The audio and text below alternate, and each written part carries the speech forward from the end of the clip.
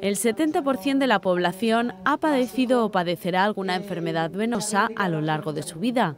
La úlcera es la manifestación más grave de este problema. Conocer su origen es evitar complicaciones. El educar y la enfermera en los centros de salud principalmente es la que tiene que decirle al enfermo cómo cuidar esos pies porque yo siempre pongo en clase un ejemplo. Un pie diabético es una porcelana china, una tacita de porcelana. Como rompas la tacita ya le puedes poner superglue que el raspón ya lo vas a tener. Entonces el pie diabético es eso, es porcelana china y hay que mimarlo y la única forma es prevenir y educar al paciente. Estar más formados acerca de la etiología y las manifestaciones de las diferentes heridas es el objetivo de estas octavas jornadas de heridas complejas celebradas en Cocentaina. No sols es quedem en la formació acadèmica que quan eixim de la universitat, sinó que eh, estar al dia contínuament.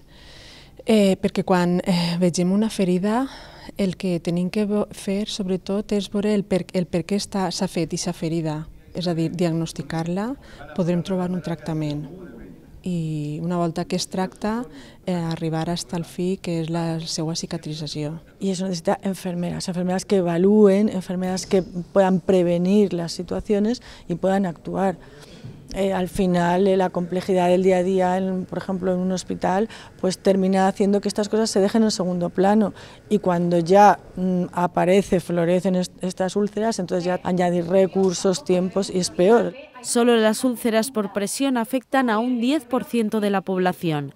El sufrimiento del enfermo y los largos periodos de hospitalización son dos de las consecuencias de esta afección. Las heridas complejas tienen ese componente que lo dice su propio nombre, complejas. Complejas hasta ahora porque no tenemos realmente muchos sistemas de diagnóstico, de clasificación, y hoy la investigación está tratando estos temas.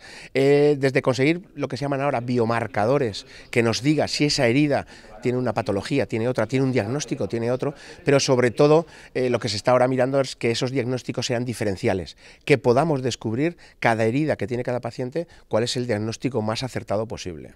En el encuentro, los profesionales han aprendido en talleres y debatidos sobre el pie diabético, el vendaje, la terapia de presión negativa y las quemaduras, conocimientos imprescindibles en el día a día de la enfermería.